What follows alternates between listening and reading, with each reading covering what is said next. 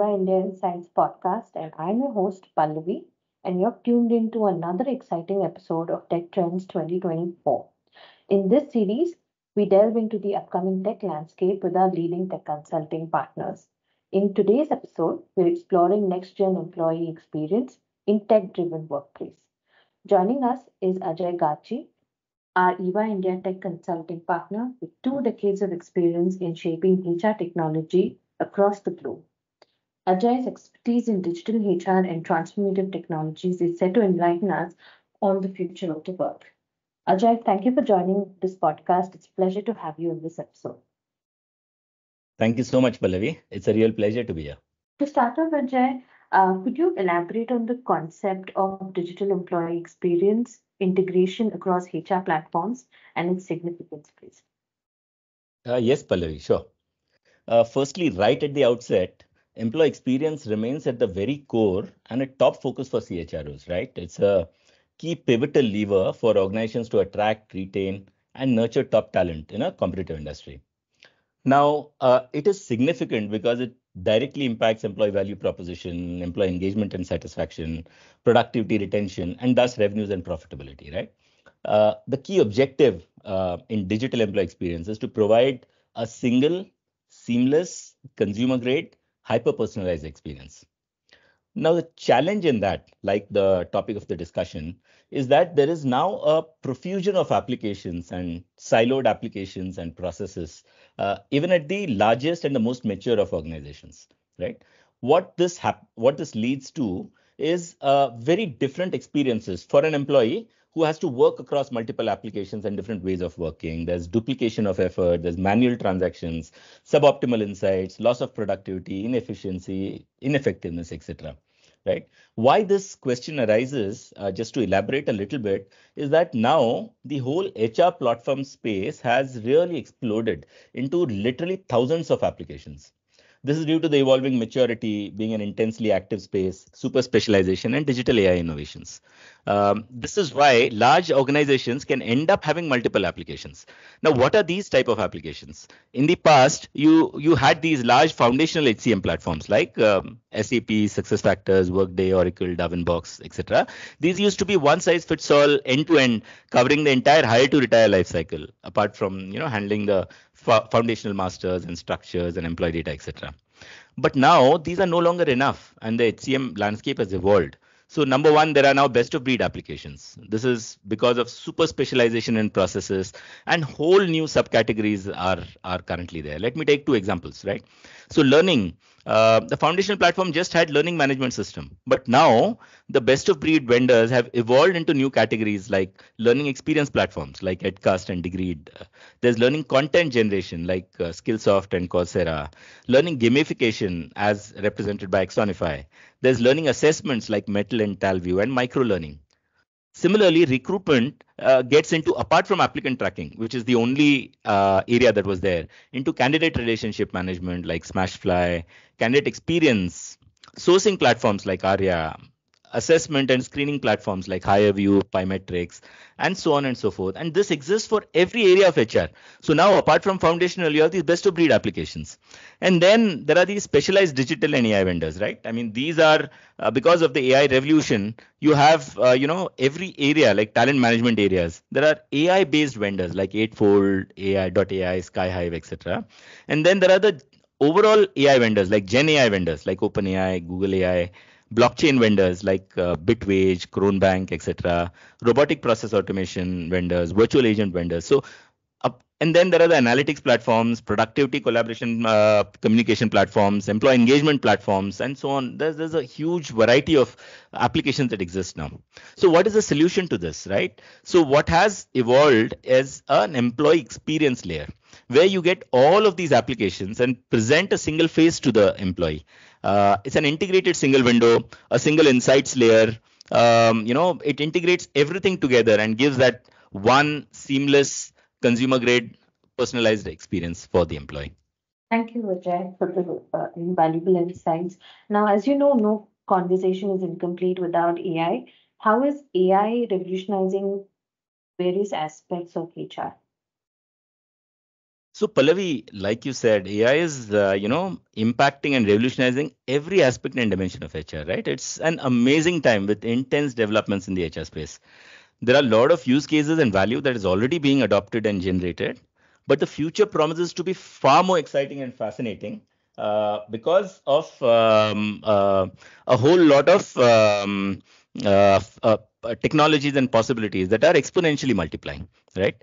So even if you look at artificial intelligence spectrum and related areas it's a wide area uh, comprising of generative ai machine learning deep learning robotic process automation natural language processing uh, computer vision conversational ai ar vr xr right? Social collaboration internet of things blockchain etc now because we don't have as much time i would probably just talk in summary of a few right? So AI at its basic, basic level, right? Automation, it goes a long way to eliminate from work, right? Uh, a lot of manual, repetitive, um, you know, transactional, administrative, and compliance-related activities. This is what because 60% of many organizations, 60, 70, 80% is just this, right? So you take all of this away, which can leave HR to focus on business partnering, strategy, and policy. Uh, so take an example of an AI technology like robotic process automation. There are literally hundreds of examples across every HR process, uh, which are use cases like pre-employment checks to employment contracts, payroll streamlining, leave administration, timesheet submissions, and you know, like I said, hundreds of examples.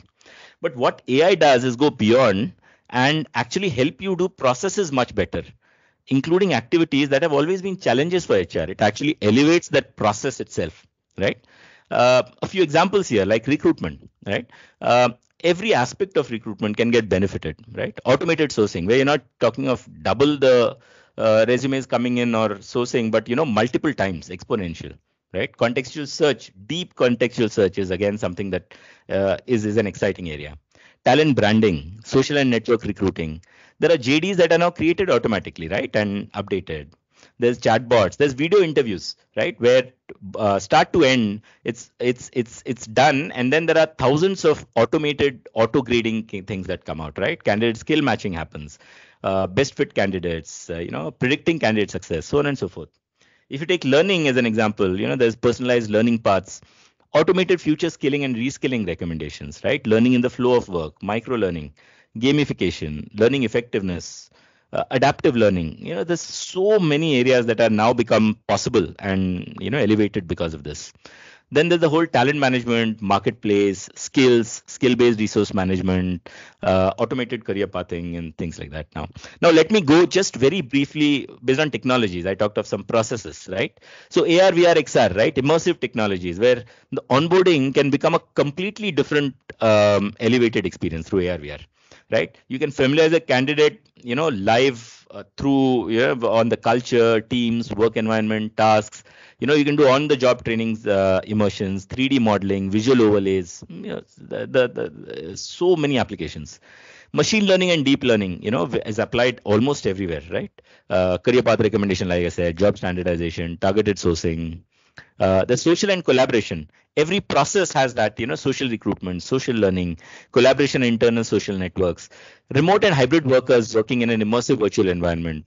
Gamification across processes. And then there's iot and blockchain. These are you know amazing technologies which is in the midterm to long term play but lots and lots of amazing applications right? So smart workplaces wearables um, badges automated attendance tracking headset simulations etc and blockchain again some examples of this would be you know resume validation background verification learning education repositories cross border payments. I mean the, the mind boggles at the kind of you know applications and how hr is revolutionized. But let me stop at that because you know i can go on and on about so many of these uh, examples Thank you, Ajay. Uh, as you've mentioned how AI is revolutionizing the processes and technology, could you also share some examples of uh, conversational AI and virtual assistants being utilized in HR to improvise engagement and employee experience?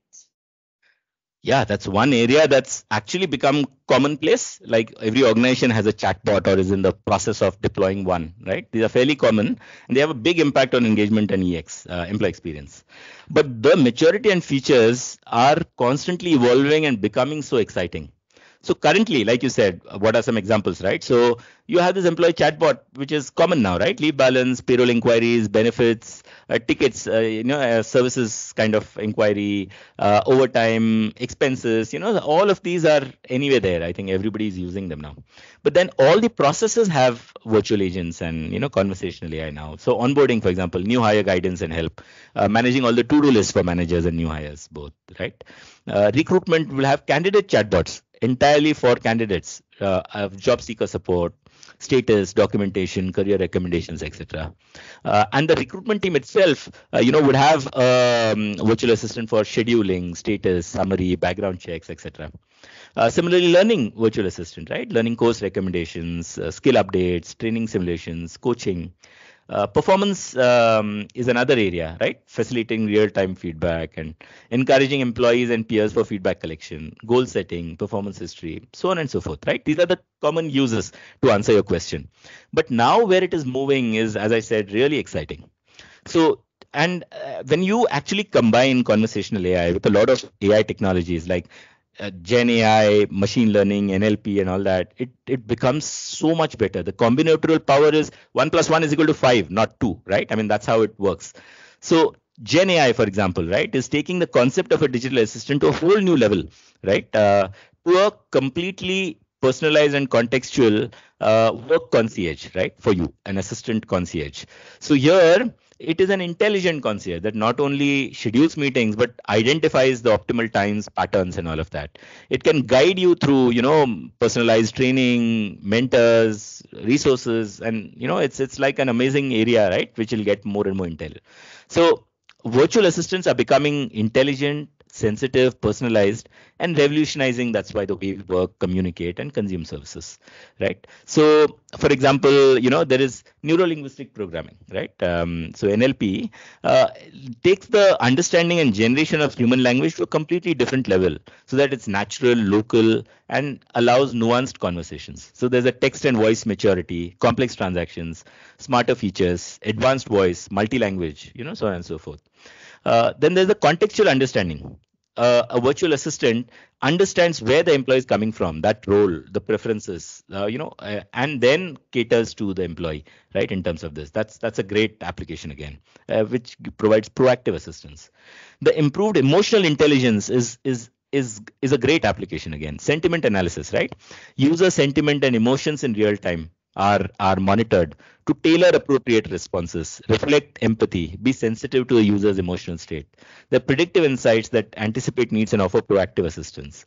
The personalization, right, uh, in terms of patterns, previous history, uh, and then you know this transparency, security, and all the compliances and all that. So so that evolution is going to be very fast and steep, and you know um, uh, add a great value to to employees. Um, I hope I answered your question, Pallavi. Yes, Ajay. Um, lastly, pivoting towards the analytics, uh, question to you is what role does HR analytics play in providing actionable insights and enhancing the employee experience? Oh, yes. HR analytics is actually one of the most potent levers to provide insights, value, and to enhance employee experience, right? So, if you actually look at HR analytics, there are multiple levels of maturity, there are five levels of maturity, right? And the higher you go, the better the value and the employee experience. Now, what is happening actually, right, uh, is that most, many organizations, right, including very mature organizations, are stuck at the lower levels, level one, two, or three, right, in reactive reporting and operational only. Um, and I'll explain why that gives a very bad experience to employees, right? So, so why this happens is also is because there are some basic foundational principles for uh, digital systems and all of that. Single source of data, there's harmonized uh, master data, integrated processes, systems, and data. And without this, you can't go up the value chain. But Fortune 500 com- organizations also, I continue to look at so many organizations where uh, there's an army of people who spend days you know across the organization manipulating excel sheets to get very very base data on demographics headcount or you know what is demanded by the senior management right now uh, all of this uh, you know leads to um, uh, quite a bad employee experience right you're not even able to go up the value chain and just stuck at that level and it causes problems all over now, how HR analytics adds to employee experience is it, it caters to all the employee experience principles, right? It it it it shows you for your context. It gives you feedback on what you're doing. It shows outcomes. It shows progress. There's transpar- transparency. There's traceability. It actually aids and actually runs planning processes. It helps you in the flow of work. You know, all of that actually helps you um, uh, have great employee experience. So I talked of hyper personalization, right? So when we talk of dashboards and analytics, it is personalized to every role, right, at a deep level. Whether you're a CXO or a head of business or an employee or HR or at all levels, you get what you need at that point of time and very, very, uh, you know, contextual to you. Uh, that information at your fingertips helps you in your work, right? Uh, directly in your flow of work. The visualization is very well presented, meaningful summaries, charts, graphs, advanced visualization techniques, etc. Now, a few more examples just to show you how it actually adds value is, you know, see, standard transactional reports and reporting. I mean, every application has it. There are thousands of these reports. Uh, you know, the value is questionable. Uh, but when you go beyond, is where I, I'd like to take a few examples, right? When I said it helps you in the planning of work. So if you see strategic workforce planning, social media analytics, or salary planning, compensation planning, right? Uh, analytics has a huge role to play in forecasting and simulations and all of that. Uh, one great application is the integrated nature of analytics that you can do, right? It uh, across all applications and processes, the value chains rather, right? So integrated talent management uh, has value only when it works across processes. So the correlation of performance to rewards or skills to learning or employee engagement and experience to attrition and retention, right? And then there's the predictive analytics, right, which is the most likely scenarios in that context. So these are the early warning systems or the early flight prediction, risk profiling, you know, which are the categories, which are locations, businesses, types of employees who are most at risk to leave right so that you can take um, corrective actions there's optimization analytics right which is which shows the optimal scenarios like hiring channel optimization and cost optimization, right? I talked of forecasting, manpower demand forecasting, you know, where you examine future possibilities. That that has an amazing value. Uh, prescriptive analytics is, you know, in terms of what is the best that can happen at any particular point of time, right? When you're hiring, what is a successful profile for hire and best assimilation into the organization, right? So, and then there's the problem identification with statistical analysis. Now, the KPIs and metrics is another great example, right? Uh, working with dashboards or balance scorecards, which gives you feedback and outcomes and effectiveness and efficiency measures for every process, for every role, right? So it could be attrition or let's take recruitment, then it's the time to hire or cost of hire or quality of hire, right? And then working with benchmarking, it can spur and drive innovation and optimization. Um, so again, I think I can go on and on, but I think this uh, at least takes uh, quite a few examples and shows how HR analytics actually, uh, you know, enhances employee experience and provides value. Thank you, Ajay. Uh, that brings us to the end of this episode. Uh, thank you for sparing your time and joining us and sharing all your insights with us and our listeners. It's been an enlightening conversation. My pleasure, Pallavi, entirely. Thank you so much for having me. Thank you. On that note, thank you to all our listeners. Don't forget to subscribe to our Tech Trend series across all our podcast platforms and stay tuned for more episodes where we continue to unravel the latest in tech trends and innovations. Until next time, this is Pallavi signing off.